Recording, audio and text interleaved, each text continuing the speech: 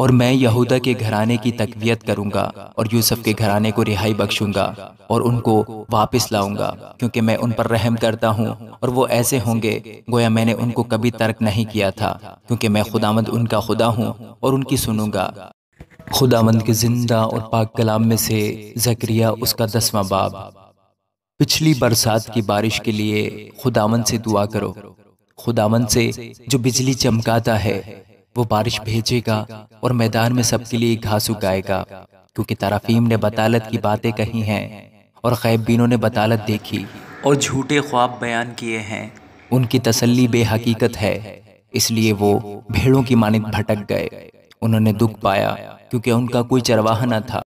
मेरा गजब चरवाहों पर भड़का है और मैं पेशवाओं को सजा दूँगा। तो भी रबुल्फाज ने अपने गल्ला यानी बनी याहूदा पर नज़र की है। और उनको गोया अपना खूबसूरत जंगी घोड़ा बनाएगा।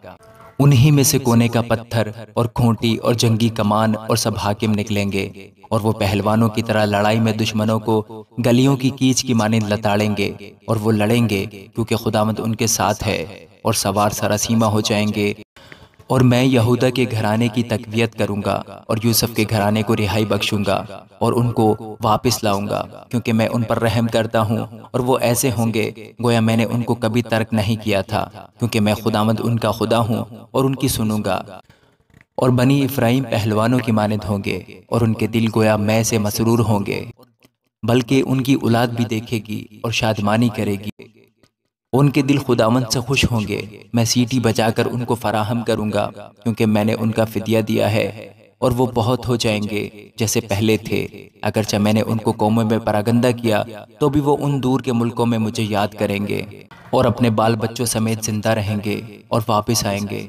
मैं उनको मुल्क मिस्र से वापस लाऊँगा और असूर से जमा करूँगा और जिलाद और लुबनान की सरजमीन में पहुंचाऊँगा, यहाँ तक कि उनके लिए गुंजाइश न होगी और वो मुसीबत के समुंदर से गुजर जाएगा और उसकी लहरों को मारेगा।